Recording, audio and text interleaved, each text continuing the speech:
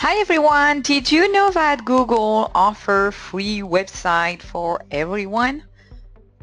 The only thing you really need is a Gmail account.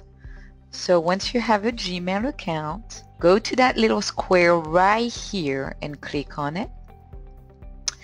And you will have all the product that is offered by Google and one of them is sites. So just click on sites.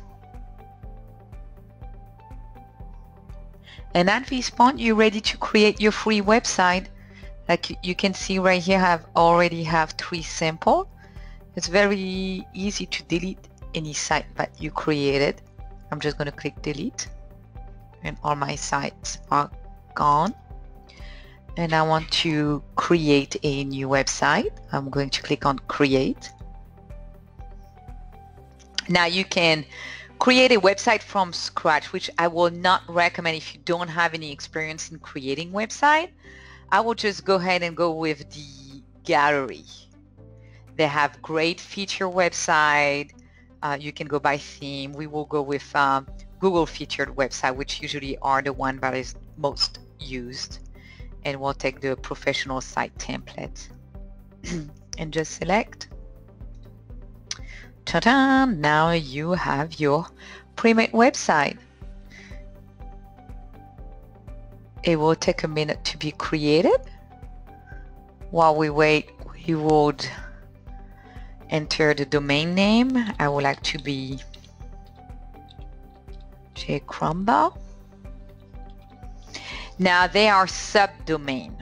Subdomain, if you don't understand what is a subdomain, it's a domain owned by Google and you're adding a word to it. You can have a regular domain if you want, you just need to transfer it.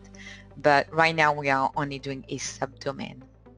I have my subdomain, I have my feature website, and now Google is going to create my website. Now, this is what will pop pop up and my website is created.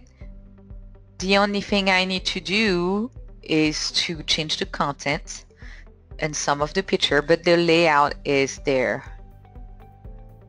I can change my pictures, I can modify any of these pages, or even enter my logos just by using all the tools bar right here. Click here you can take action on the page. You can edit the site layout if you don't like it. And you can even share the website project with other coworker. That's it for today. This is how you get access to free website with Google. Very user-friendly tool and it's free. Enjoy!